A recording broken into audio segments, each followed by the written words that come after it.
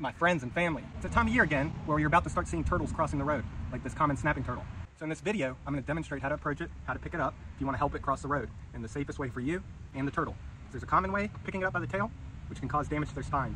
But yeah, let's get to it. Make sure you put them in the direction that they're going. With the snapping turtle, a few things you have to worry about is when they lunge, their head snaps back. That can be intimidating. Don't worry about that. But another thing to be aware of are these back feet, the claws.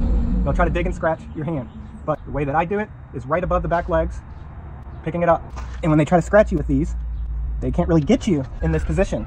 But another way is to just straight under, like this. As you can see, they'll try to claw, but unable to. This way is probably not as comfortable for most people. They'd be a little bit more nervous. You can see how it lunges, intimidating, but just right here, good to go.